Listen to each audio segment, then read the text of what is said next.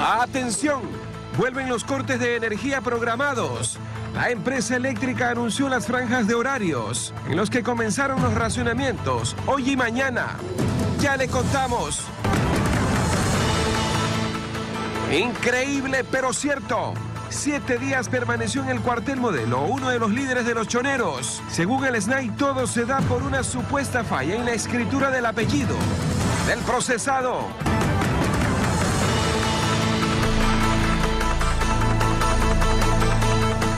Ocho de la mañana con dos minutos, amigos. Eh, muy buenos días. Estamos martes 16 de abril de 2024. Avanza paulatinamente la semana.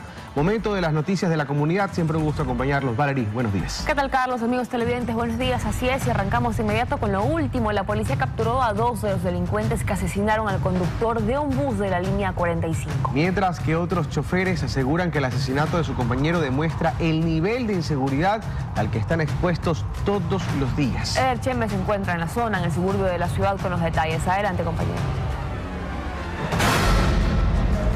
¿Qué tal compañeros? 8 de la mañana con dos minutos. Seguimos informando desde Chambers y la 45 en el suburbio de la ciudad de Guayaquil. Esto luego de que la Policía Nacional ya confirmó la captura de dos de los implicados en este hecho sangriento que acabó con la vida de este conductor de la línea 45 que realiza el recorrido desde el centro de Guayaquil hasta el suburbio, precisamente donde nos encontramos.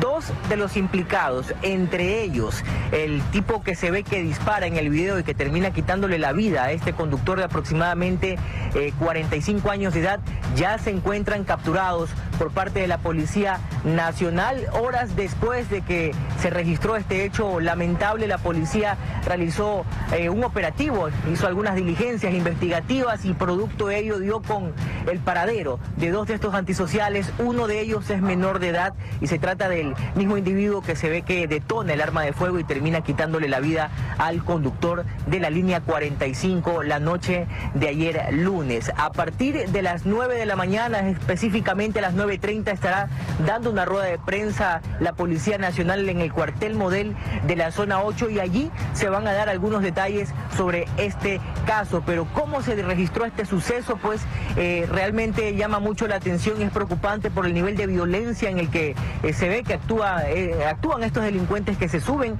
a asaltar a esta unidad y tras robarles a todos los ocupantes, pues luego le quitan la vida al conductor del bus. Pero hemos preparado un reportaje con los detalles de este video que causa mucho temor, recalco, y con parte también del resumen de lo que sucedió. Veamos a continuación la nota. Las imágenes son aterradoras. Todo quedó registrado en la cámara de seguridad del bus Disco 0350, que cubre el recorrido que va desde el centro de la urbe hasta el suburbio de Guayaquil. El video muestra cómo tres delincuentes se suben a asaltar a esta unidad y tras robarle a los pasajeros, los antisociales se dirigen hasta el conductor del bus. Le exigen al chofer que les entregue un canguro que tiene fijado en su cintura, pero antes que pueda entregar las pertenencias personales, uno de los pillos lo golpea en la cabeza Luego dispara en dos ocasiones sin atinar a darle. De fondo se escuchan los gritos de la acompañante del conductor, pero uno de los antisociales se toma todo el tiempo que necesita para acabar con la vida de este profesional del volante, propinándole dos disparos en su cabeza. Sucedió en las calles 41 y Chambers cuando este bus de la línea 45 realizaba su recorrido habitual. En el lugar los moradores del sector se mostraron atemorizados tras lo sucedido por el nivel de violencia con el que actuaron los antisociales. Lamentablemente porque las personas pobres salen a buscar su trabajo y pues salen a, a buscar la muerte, porque aquí no tenemos justicia todos los días.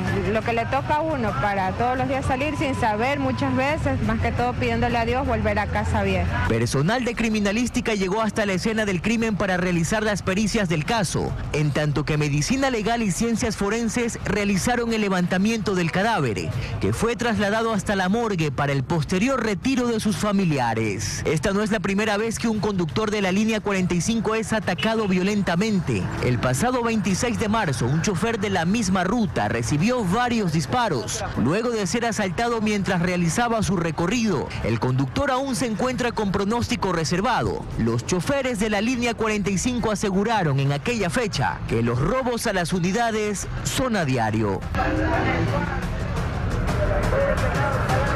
8 de la mañana con 6 minutos, así es. ¿Cuál es el ambiente a esta hora de la mañana aquí en la estación de la línea 45? Eh, compañeros, realmente hay mucho hermetismo, pero también un ambiente bastante pesado. Eh, realmente llama mucho la atención, es preocupante, las personas no quieren ni siquiera pues referirse al tema. Hemos tratado de conversar con algunos de los conductores que están trabajando el día de hoy a pesar del miedo que existe y nos han indicado que no hay ningún tipo de garantía para ellos. Eh, ya una vez que se enteraron que estos dos individuos fueron capturados, dos de los responsables de este hecho sangriento, ahora dicen, pero es que se trata de una banda, no son únicamente dos los implicados o los que andan robando, porque no es la primera vez que eh, pues cometerían este tipo de actos eh, delictivos en estas unidades, específicamente en la línea 45. Así que hoy hemos podido constatar que la línea 45 está trabajando con normalidad, no ha detenido su operación y los conductores han tenido que salir a trabajar a pesar de ese temor que sienten, nos han dicho, lo que podemos hacer, tenemos que trabajar, tenemos que ganarnos el pan, tenemos que sustentar a nuestras familias a pesar del miedo que nos invade y están solicitando ahora sí pues que la fuerza pública, los militares vuelvan a venir a, a esta zona luego de que pues ya hace algún tiempo no lo hacen cuando se decretó el estado de excepción. Pero vemos que ahí está saliendo una de las unidades a trabajar, a hacer su recorrido habitual como lo venían realizando.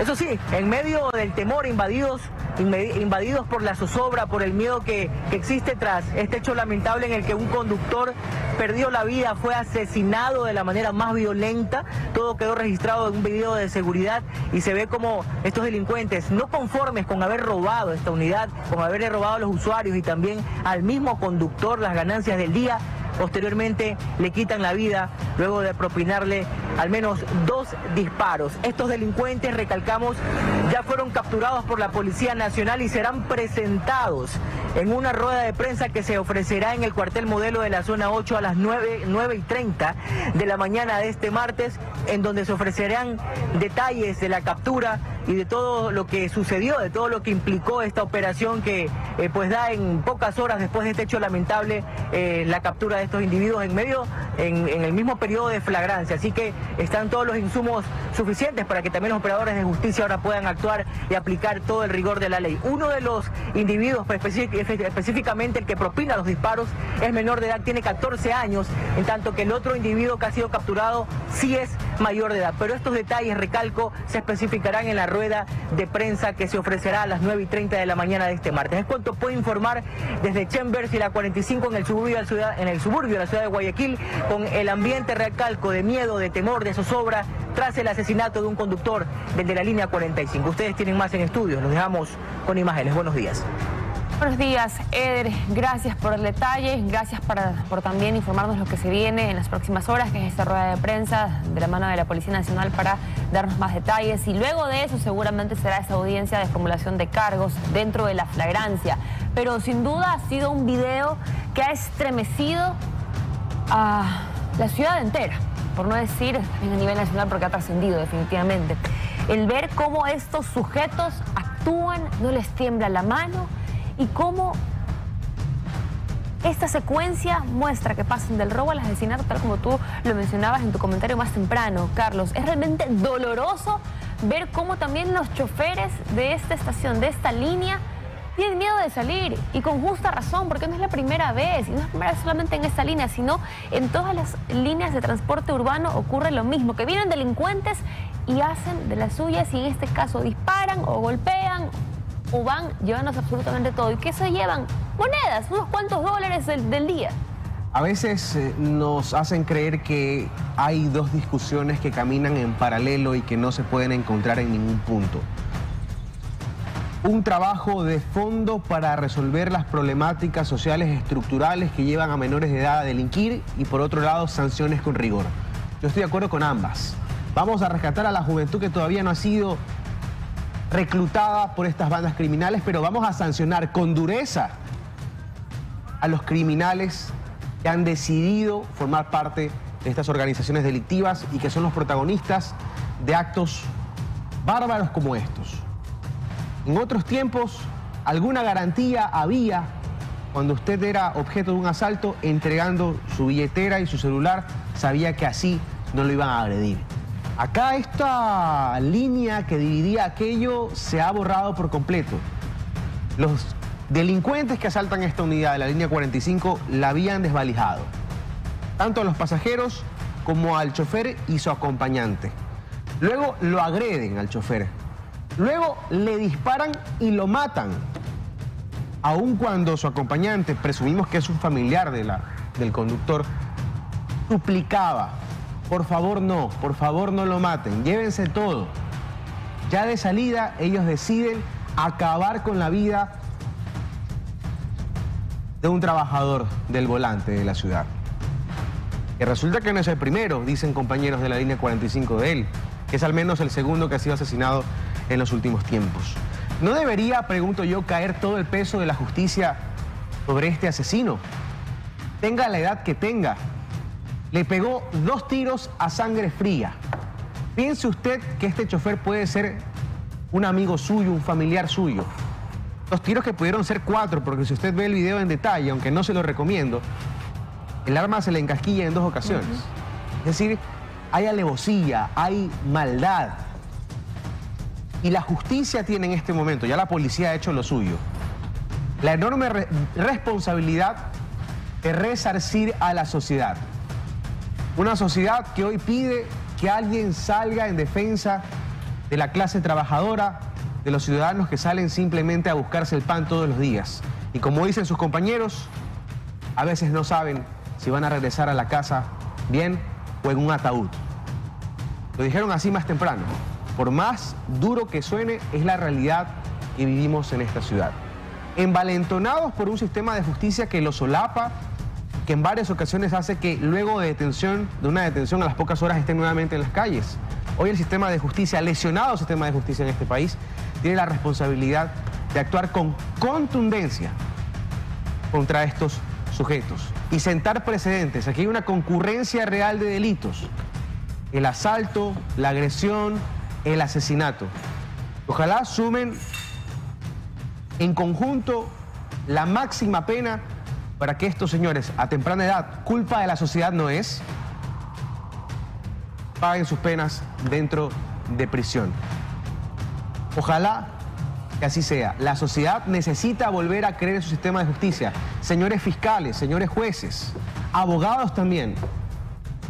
En sus manos está esa responsabilidad. Estos delincuentes decidieron, decidieron, porque se escucha en el video, mátalo. Decidieron convertir un asalto en un asesinato.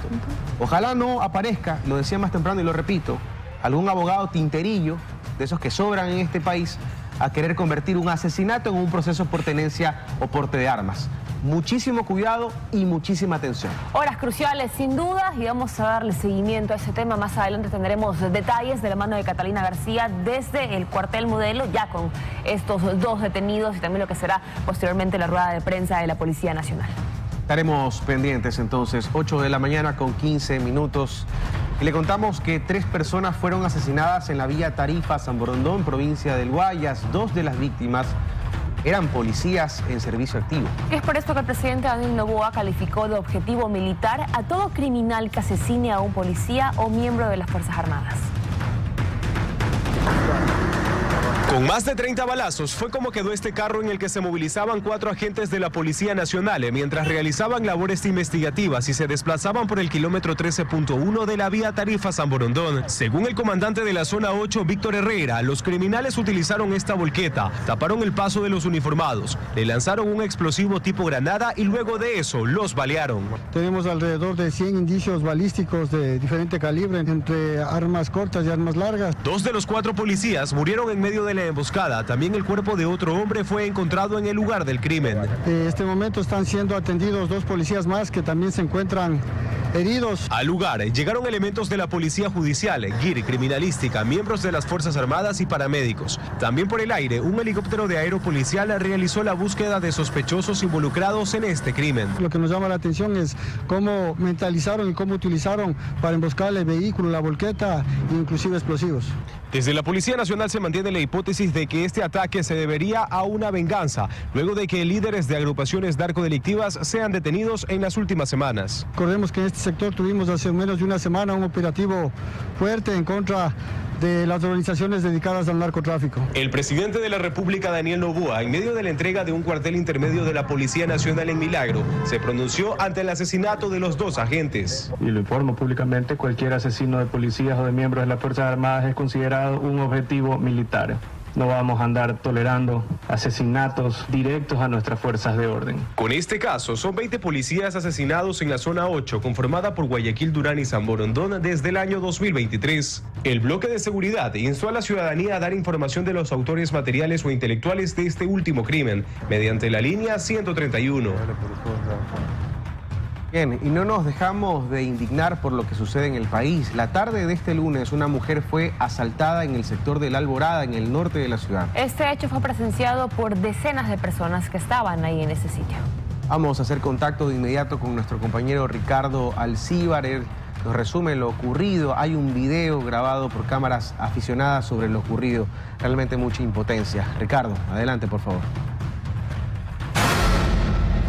¿Qué tal? Así es, muy buenos días. Permanecemos acá en el sector de la Alborada, justamente en la calle principal, la Guillermo Pareja Rolando. Punto, justamente estamos en el parterre central donde se reportó el robo a una mujer la tarde de este lunes. Producción, ayúdeme con el video difundido rápidamente en redes sociales y que generó reacciones en los internautas y también en la ciudadanía por la violencia que ese delincuente actuó. Ahí se ve como con un arma de fuego amedrenta a la señora la agrede, la empuja hasta el suelo y en el piso le apunta directamente a la cara. Esto frente a decenas de personas que estaban en el área comercial justamente del sector de la Alborada. Las personas quedaron indignadas tras lo ocurrido y lamentablemente poco pudieron hacer. Esto pese a que estamos a tan solo dos cuadras de una unidad de policía comunitaria. Algunos intentaban encender las alarmas de los locales comerciales. Sin embargo, el delincuente justamente que es captado en ese video siguió asaltando a la persona. Lo que se conoce, información que ha compartido este medio de comunicación, es que la señora salía de una institución bancaria justamente de acá del sector de la Alborada. Y al estilo sacapintas, los delincuentes la interceptaron y le asaltaron. El criminal pese a los gritos de las personas, se fue libremente del sector en una motocicleta y la dejó tirada en el piso, robándole lo que se sabe hasta el momento, su teléfono celular y parte del dinero sacado justamente de la institución bancaria perteneciente acá al sector de la Alborada. Indignantes imágenes y se ve como este delincuente cobardemente ataca a una mujer, agrediéndola, apuntándole en la cara y amenazándola de muerte para robarle sus pertenencias. Estamos viendo también las imágenes donde se ve la cara de este delincuente que asalta justamente acá en el sector de la Alborada al estilo Zacapintas. Quedará en manos de la Policía Nacional iniciar las investigaciones para dar con la captura de este delincuente, que ya está comprobado que si se hacen las gestiones a tiempo y se busca el rastro de estos delincuentes, probablemente se dé con la captura rápidamente de estos criminales que mantienen atemorizadas a la ciudadanía. Hasta acá la iglesia vivo justamente desde el sector de la Alborada. Regresamos a estudio con más. Muy buenos días. 8 de la mañana con 20 minutos, amigos, momento de revisar el pronóstico del tiempo y también observar esta linda panorámica que nos muestra nuestro 24 horas en vivo de cómo luce en este caso el suroeste de la ciudad, muy cerca de la avenida Portete, atención con aquello, ahí de fondo vemos la zona eh, de Ceibos, la avenida del Bombero, esa zona que está ahí usted en la imagen observando. Cielo nublado es lo que tenemos a esta hora de la mañana, pero también ya se va despejando un poco, así que tendremos seguramente un cielo parcialmente nublado para esta mañana. 28 grados centígrados en temperatura, quiere decir que ya se está elevando, como ya es algo habitual, conforme van pasando los minutos y las horas. Vamos a revisar también el pronóstico del tiempo, pero por horarios. ¿Qué pasará durante todo este martes? Se lo contamos a continuación. De 10 a 12 del día, lo decíamos, un cielo parcialmente nublado es lo que tendremos, con una temperatura que estará bordeando los 29 grados centígrados. Luego de eso, en horas de la tarde, de 1 a 6, cielo parcialmente nublado, pero mucho ojo con esto porque tendremos nuevamente altas temperaturas, 33 grados centígrados la sombra. 7 de la noche en adelante, cielo nublado en cambio y la temperatura vuelve a disminuir y llega a los 28 grados centígrados. Vamos a un corte comercial amigos, pero al volver, increíble pero cierto, estas cosas ocurren. Siete días permaneció en el cuartel modelo, siete días, uno de los líderes de los choneros. Según el SNAI, todo se da por una supuesta falla en la escritura del apellido del procesado. Le contamos los detalles luego del corte. También varios negocios se han visto afectados por los cortes de energía eléctrica en el centro de Guayaquil. Alex Vargas nos tiene un avance de cómo está la situación a esta hora de la mañana. Alex, adelante. 8 de la mañana con 25 minutos, amigos. Seguimos con más información en 24 horas. Les contamos. El Ministerio de Energía informó que debido a varios factores como la extensión de las sequías, aplicará racionamientos temporales del servicio eléctrico en todo el país. La noche de este lunes, las empresas eléctricas regionales comenzaron a anunciar las franjas de horarios de cortes de suministro. Guayaquil hay tres horarios durante la madrugada, la mañana y por la tarde. De forma oficial, CENEL ha dicho, empiezan nuevamente los apagones, se esperaría porque también se ha afirmado eso desde esta empresa pública, que el próximo miércoles haya una posible revisión de las condiciones actuales para saber si este tema se mantiene o se extiende algunos días más. Valerie, pero lo cierto es que es realmente insufrible así en estas condiciones. Correcto, es eh, complicado y sobre todo cuando empezó este anuncio anoche, ¿no? Y no se eh, subían a las redes sociales, en este caso de CENEL, eh, los horarios y los sectores en donde se iban efectivamente estas desconexiones, como ahora se lo llaman, racionamientos de energía, cortes de electricidad, que es básicamente lo mismo. Así que no nos queda más que estar atentos efectivamente a los sectores y los horarios en donde se va a manejar estos cortes, Carlos. Sí, y vamos a ver si usted necesita saber los horarios y sectores donde se van a registrar las desconexiones de energía, pues hay un procedimiento bastante similar al que ocurría hace unos meses atrás. Usted debe escanear este código QR que ponemos en su pantalla. Si puede hacerlo en este momento, hágalo por favor. Eso lo va a direccionar a las redes oficiales de la Corporación Nacional de Electricidad, donde usted va a tener un espacio para poner o el código de su contrato o más bien su número de cédula y con esto poder ver a qué hora se va a cortar la energía eléctrica en su sector y poder organizarse pues de la mejor forma dentro de todo. Pero presten mucha atención, vamos a revisar en estos momentos cuáles son los sectores que en Guayaquil se encuentran sin energía eléctrica. Lo revisamos. Entre 6 y 9 de la mañana todavía estamos en esa franja, sectores como la avenida Carlos Julio Arosemena hasta la Ciudadela El Paraíso, la avenida Víctor Emilio Estrada, sector Urdesa, Capitán Nájera hasta la calle Ayacucho, esto es en el centro sur de Guayaquil. La ciudadela Marta de Roldós, norte de la ciudad, de la avenida 9 de octubre, centro de Guayaquil y colinas de Montebello. Son al menos estos seis sectores que se encuentran en este preciso momento sin energía eléctrica. ¿Qué sucede en ese punto? Vamos con Alex Vargas. Él está exactamente en las calles Pichincha y Elizalde, en el centro de Guayaquil. Hay afectaciones en los negocios, inconformidad en la gente. Alex, cuéntanos por favor, adelante.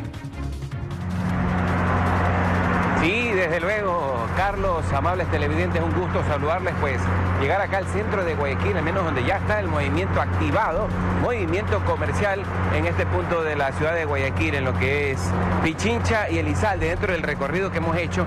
Lo que sí se sorprende la ciudadanía es que es eh, por partes, por tramos. Si se entendía de que todo este sector al menos estaría sin el servicio de energía, eh, lo que no se entiende es que el tramo de lo que comprende a la calle Pichincha, ¿verdad? Eh, no cuenta con el servicio. Pero en lo que comprende a Elizalde, eh, sí tienen el servicio, pero ciertos eh, inmuebles o, o, locales comerciales, y luego esto les está afectando, mencionan ellos, hay que tener en cuenta, ¿no?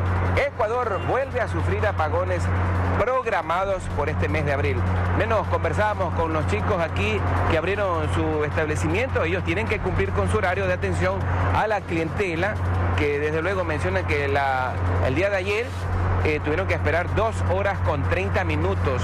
El día de hoy ya avisaron, tomaron los, eh, los correctivos, desde luego, y están a la espera de que esto se, eh, se establezca nuevamente. Ellos cumplen en abrir su establecimiento. Más allá está otro local de venta de desayunos que por supuesto eh, no lo tienen habilitado, solo están a la espera de que vuelva el servicio de energía. Las entidades financieras, como está a pocos metros, tienen su planta propia, sin embargo, la ciudadanía están realizando sus respectivas columnas una vez que se del servicio de energía y puedan ya pasar y desde luego ingresar a su eh, cubículo para hacer el trámite en respectivo en la entidad financiera. Estamos también en otra entidad, todavía no permiten el ingreso a los usuarios, como también, si me acompaña mi estimado Dave, en lo que es 9 de octubre y Pichincha, ahí está la gente en espera en la parte exterior para hacer el trámite en lo que es la cedulación eh, u otros eh, documentos que tienen que sacar en esta entidad de lo que comprende al registro civil eh, del Ecuador. No, noten ustedes. Y ya lo que es la calle Luque en la parte de atrás, locales que tienen, venden encebollado, está la panadería, está el cyber y otros locales están habilitados, tienen y cuentan con el servicio de energía, desde luego, pero otros Noten ustedes que por supuesto han, eh, y están al tanto de lo que se informa, aún no abren sus establecimientos porque saben que a esta hora ya se ha notificado de que iba a existir el respectivo corte de energía y desde luego no lo van a abrir hasta más tarde, entendemos aquello. Sin embargo, eh, vemos otros locales que sí están atendiendo. Los jóvenes que están, mencionábamos hace poco, en espera de que vuelva a establecerse el servicio, y de esta manera sí poder laborar con total normalidad. Notábamos que ya hicieron pasar a los ciudadanos a, la entidad financiera que estábamos hablando en vista de que esta entidad sí cuenta con planta propia, desde luego no todos lo tienen, pero sin embargo hay que resaltar que esto está afectando y muchos ciudadanos al menos tienen que eh, estar con la debida paciencia. Reiteramos, estamos en el sector de Pichincha y Elizalde, a pocos metros también de la calle Luque. Reiterar, este punto no está habilitado el servicio por el asunto del corte de energía, ¿verdad? Los semáforos. Vamos a ver rapidito para que me enfoque mi estimado Dave. Enfóqueme acá. Eh, sería oportuno que venga un agente de tránsito. No hay energía y acá en lo que comprende la calle eh, Elizalde no está el servicio, pero en la calle Pichincha, en lo que ya es con Luque, no hay semáforo y esto va a afectar. Sería importante coordinar acciones con ATM para que venga un uniformado y no se presente ningún accidente de tránsito. Compañeros. Gracias, Alex. La molestia es evidente más allá de la decisión que se ha tomado de estos cortes, sino que además de que eso está ocurriendo, desde anoche ha sido bastante confuso y bastante complicado saber las zonas y los horarios. Para empezar, hablando netamente de Guayaquil, se subió el listado muy tarde anoche y hoy, por ejemplo, habían sectores que se iba a cortar el servicio de energía, como yo, a las 12 del día y a esta hora no hay energía eléctrica en las zonas. Entonces, a dar la información mucho más clara y más fácil para la gente para que también se prepare. Creo que eso es lo importante también, Carlos. Es importante, ojalá que se corrijan estos inconvenientes y lo de fondo también. No podemos estar esperando depender siempre de las lluvias y de la cota en los embalses de las hidroeléctricas, ¿no? Bien, hay las consecuencias de este ya oficial racionamiento de energía en el centro de Guayaquil. Gracias, Alex Vargas, por la información. 8 de la mañana con 33 minutos y seguimos con otros temas. Escuche esto porque es realmente impresionante, pero hasta lo impensable sucede en este país. Siete días permaneció uno de los líderes de los choneros en la zona de aislamiento en el cuartel modelo. Pese a tener prisión preventiva, el SNAI no lo trasladó a la penitenciaría del litoral por una supuesta falla en la escritura de su apellido. Fernando Javier Muñoz Muñoz, alias Fercho, de 39 años, fue detenido el 4 de abril en un allanamiento realizado en el condominio La Romadera Torre 2, en poder de dos armas de fuego, dinero en efectivo y chaleco antibalas. Es identificado por la Policía Nacional como integrante de estructura terrorista Choneros. Tras su captura y luego de la audiencia se ordenó su traslado a la penitenciaría del litoral, pero resulta que permaneció en la zona de aislamiento, que se encuentra en el centro de aseguramiento transitorio del cuartel modelo, siete días, pues recién fue trasladado el 12 de abril. La justificación que el Servicio Nacional de Atención Integral a Personas Adultas Privadas de la Libertad y Adolescentes Infractores SNAI le da a la Policía Nacional es que no podían mover al preso, porque el segundo apellido estaba incorrecto. Buscando algunas argucias porque nos dicen que el nombre está mal, debía haber sido rectificado el segundo nombre el mismo día y no quedarse cinco o siete días aquí hasta que se verifique y que la policía levante la alerta para que sea trasladado.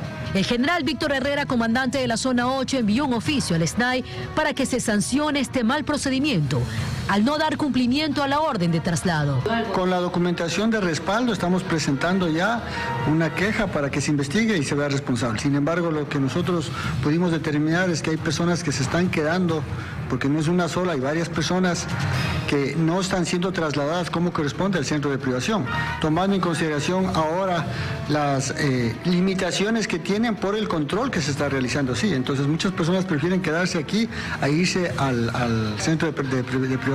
La policía levanta alertas de esta práctica de privados de libertad que también la están utilizando en los hospitales de Guayaquil, según los agentes con complicidad del SNAI. Muchos detenidos que están saliendo a los hospitales con custodia policial. Entonces, ese levantamiento también es importante porque no se puede utilizar o mal utilizar estos recursos para que las personas fueran trasladadas por la comodidad de ellos a estos sectores.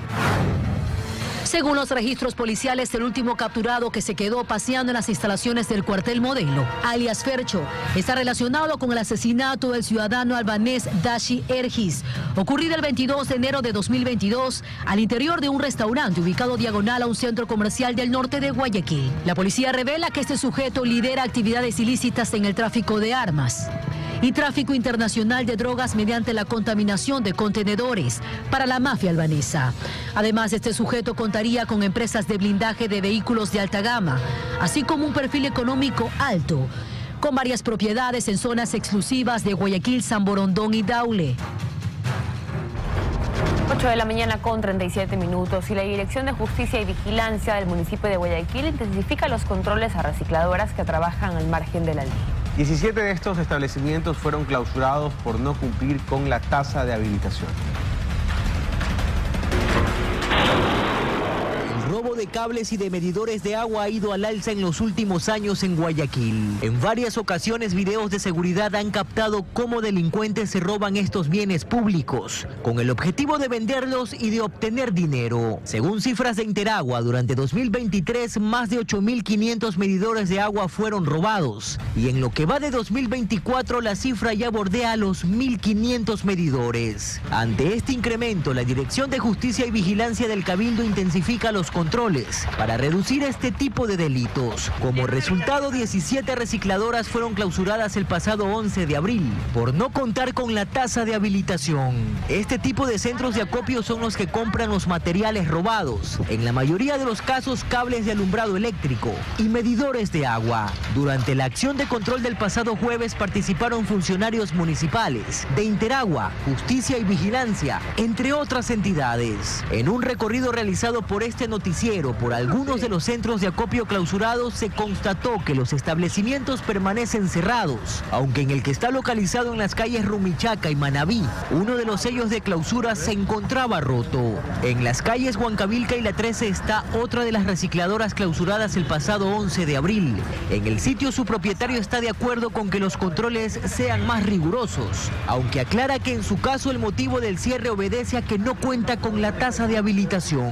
Estoy de acuerdo este tipo de, eventos, puchica, debería suceder con más frecuencia. Solamente la tasa de habilitación, la misma que no está emitiendo el municipio. De verdad que quisiéramos que el municipio se pronuncie y nos diga qué más necesitamos para que nos den la tasa de habilitación. A pocas cuadras, en las calles Brasil y la 11, se encuentra esta otra recicladora, también clausurada. Su dueño asegura que se encuentra en proceso de regularización. Dijeron que sí, que no iban a dar el, el, chance de poder eh, tramitar los documentos y todo lo demás, pero hasta la vez estamos esperando. Desde el Cabildo se indica que el robo de cables y de medidores de agua atrae el interés de los delincuentes, pues de ellos se extrae el cobre, el metal que más se comercializa en las recicladoras. Le contamos que hoy se cumplen ocho años del terremoto de magnitud 7.8 en la escala de Richter que afectó al país y específicamente a la provincia de Manabí, donde fue el epicentro. Ricardo Cruzati se trasladó a esa localidad. Hasta la fecha se evidencian los estragos provocados por este terremoto. Ricardo, cuéntanos, buen día.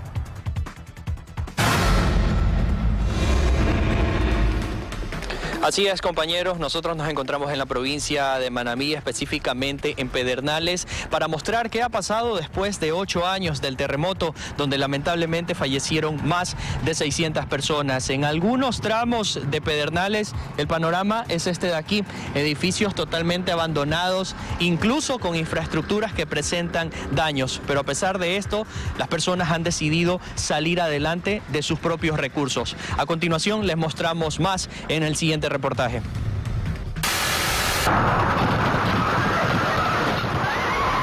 En tan solo 45 segundos cambiaron la vida de cientos de personas hace ocho años atrás.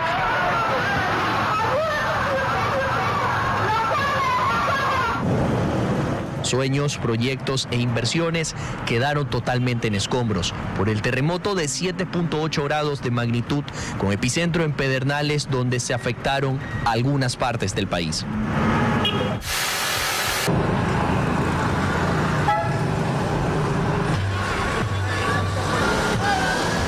Ocho años después, decidimos volver a este punto del país para constatar qué pasó en este tiempo y qué han hecho sus habitantes para volver a empezar desde cero ante esta tragedia. Después del terremoto que hubo en el 2016, este, hemos seguido ahí trabajando, no hemos tenido eh, que decir ayuda de nada. Estos locales que se vinieron abajo hace ocho años atrás, ¿cómo se volvieron a levantar? Con la fuerza de nosotros mismos, con, con nosotros mismos, con los que tenían recursos, con sus propios recursos. Cerca de la playa encontramos a Nelly. Ella vive al lado de lo que antes era un hotel, donde nos cuenta que a pesar de que Pedernales se levantó por cuenta propia, caminar por las calles no es lo mismo. No hay nada lo que fue Pedernales, no hay nada, es otro Pedernales, como más abandonado. La gente ha puesto de sí, de sí mismo, ha puesto ese empeño de avanzar, porque en el transcurso de lo que el gobierno nos prometió, nunca se cumplió. En mayo del 2016, el expresidente Rafael Correa aprobó la ley de solidaridad. Esto consistía en el incremento del IVA del 12 al 14% para recaudar fondos y mitigar los daños causados por el terremoto. Lamentablemente, en algunos sectores de Pedernales continúa así. Se estima que se recaudaron más de 3 mil millones de dólares para ejecutar el plan Reconstrucción Manabí. En su momento se conformó un comité presidido por el entonces vicepresidente Jorge Glass, quien actualmente está procesado por mal uso de fondos de la reconstrucción de Manabí. A pesar de que han pasado ocho años, Pedernales no solo es una ciudad que todavía guarda cicatrices del terremoto. Bahía de Caracas también las tiene.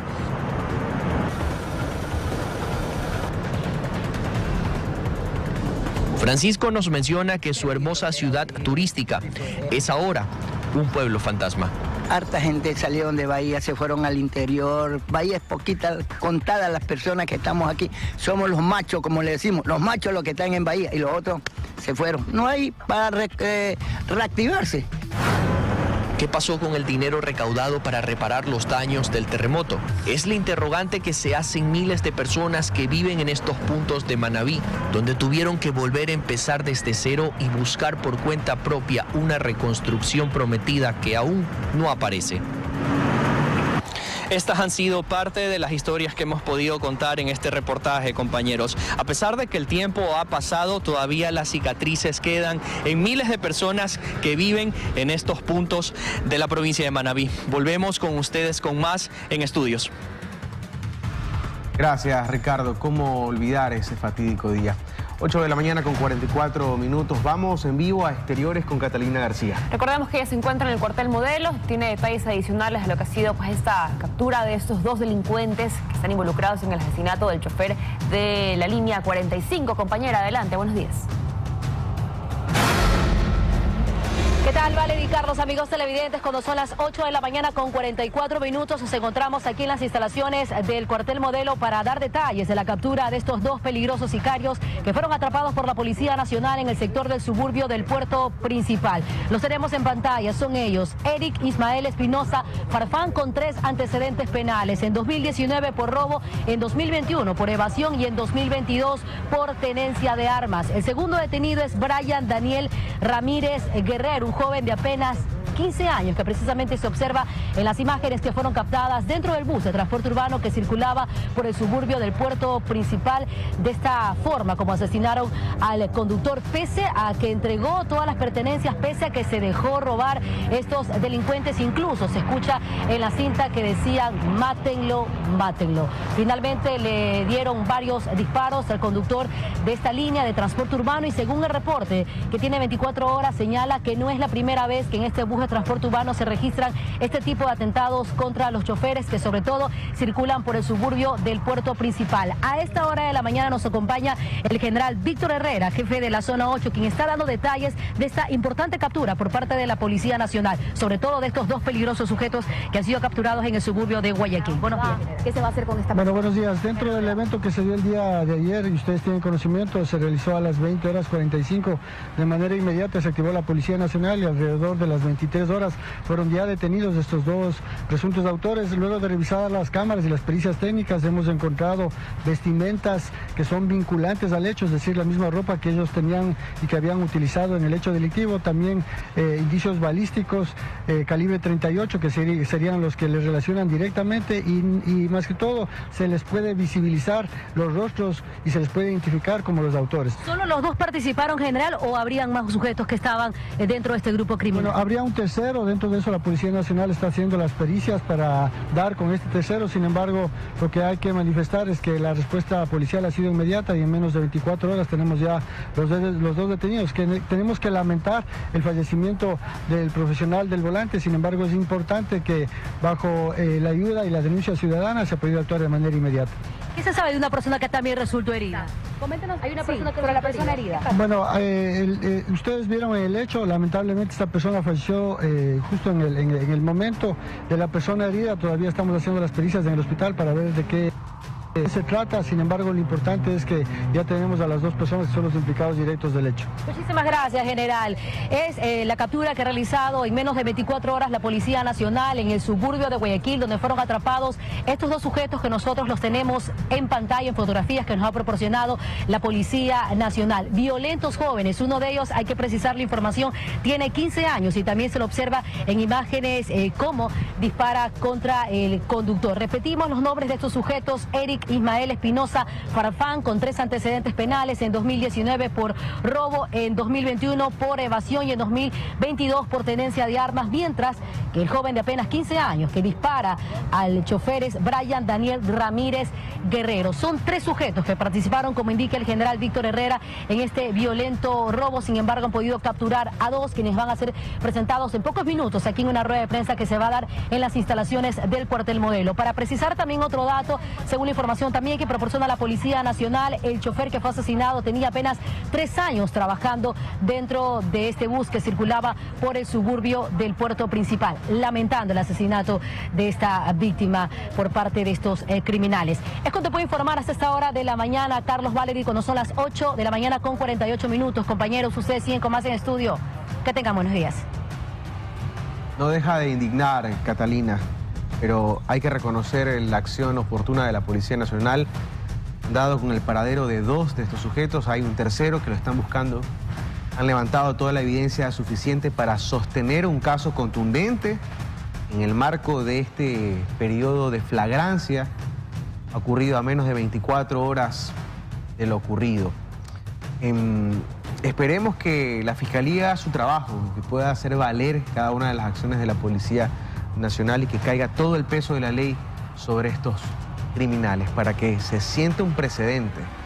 Este no es país de los delincuentes, es país de la gente que tiene miedo de salir a las calles. Entienda eso, son las 8 de la mañana con 49 minutos, amigos. Momento de una pausa, pero al volver, porque usted se dirige hacia la zona de la Rodríguez Bonín, donde se encuentra la Policía Judicial, hace que atención con aquello. Cielo nublado es lo que tenemos en esta zona y la temperatura la ve en pantalla 28 grados centígrados. Pero ¿qué pasará durante toda esta jornada? Se lo contamos a continuación en el pronóstico del tiempo, pero por horarios. Vamos a ver que de 10 de la mañana a 12 del día tendremos un cielo parcialmente nublado con una temperatura que estará bordeando los 29 grados centígrados. Luego de eso, de 1 a 6 de la tarde vamos a ver la misma tónica, cielo parcialmente nublado, nublado, pero aquí la diferencia es la temperatura que se incrementa y llega a los 33 grados centígrados bajo sombra. Quiere decir que hará bastante calor en la tarde. De 7 de la noche en adelante, en cambio, un cielo nublado y la temperatura baja y llega a los 28 grados centígrados.